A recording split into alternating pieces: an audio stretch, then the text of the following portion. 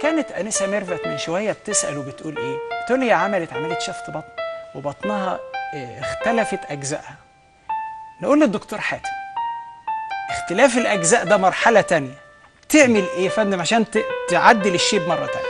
طبعا تعديل ال shape بيبقى برضه بعد تناول الأنظمة الغذائية الخاصة باللي فيها دهون غير مشبعة كتير جدا لتنشيط الج- الجلد وشرب الميه كتير طبعا مع استخدام أجهزة.